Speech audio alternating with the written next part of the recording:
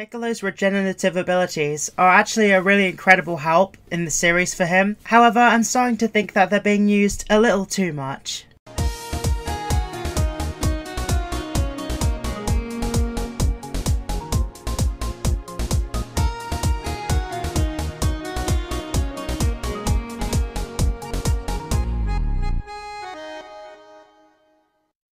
Hey guys, it's Alexis here, and welcome to a new Dragon Ball discussion. Today I'm going to be talking about Piccolo's regenerative ability, and why it's been used a little too much. It seems in Dragon Ball Super, and later parts of the Dragon Ball series, whenever Piccolo has a somewhat intense fight, he always seems to instantly lose an arm.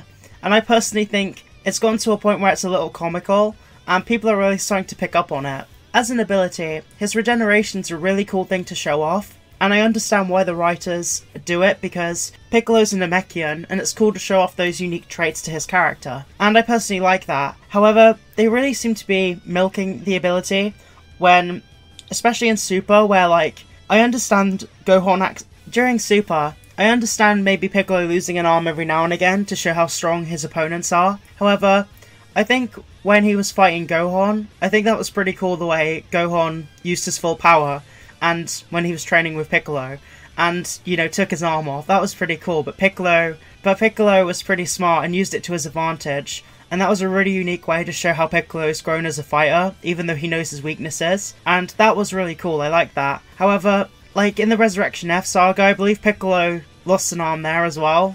Which, yeah, he did. I remember it. And then during the Tournament of Power, I think he lost an arm several times. And it, I just personally think it kind of, after a while, demeans Piccolo a little bit because Piccolo is a really strong fighter, and he's personally one of my favourite characters in the series.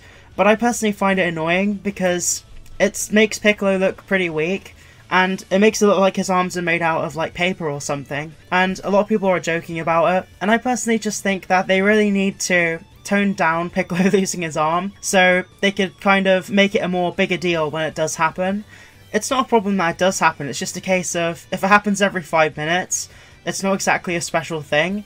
And I know it's a way to show off Piccolo's regeneration, but people know by now that he can do that, so the only thing it's really doing is making Piccolo look a little silly sometimes, or really weak actually, or that Piccolo lets his guard down, when you can see by his character that's not the case. He's one of the most tactically, you know, impressive characters where he always has a plan when he's fighting. Even if he's weaker than his opponent, Piccolo seems to always find a way to bounce back, and that's something we all really love about him. But yeah, it's a little quick video. But do you guys um like the way Piccolo keeps losing his arms, or do you feel the same way I do, where you probably like him to do it a little less and probably not completely stop it altogether, but just use it sparingly and make it effective when it does happen. But anyway, if you enjoyed this video, make sure to hit the like button, hit the bell and subscribe to make sure you get notifications from whenever I upload a video. I have a Twitter, you can follow me down below in the description, there's a link. And I also have my Patreon there if you want to see more videos from me. But anyway, I'm Alexis, and I hope you have a lovely day. I'll see you soon, guys. Bye!